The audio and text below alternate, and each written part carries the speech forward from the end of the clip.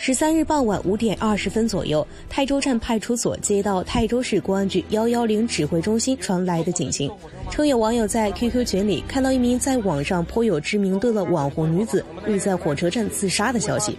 她的抖音账号最后定位地点在泰州海陵区。民警询问得知，今年二十五岁的该女子在南京上班，平时爱好上网，喜爱夜跑、登山。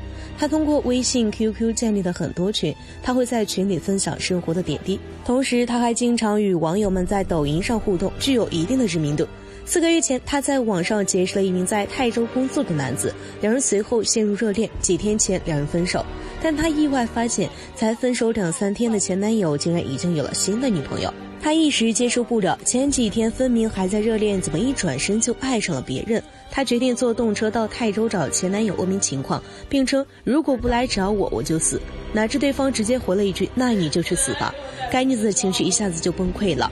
当天下午三点多到了泰州，等了几小时也没等到前男友，于是她就在 QQ 群里告诉网友们想要轻生的想法。经过民警劝解，该女子已由朋友接回南京。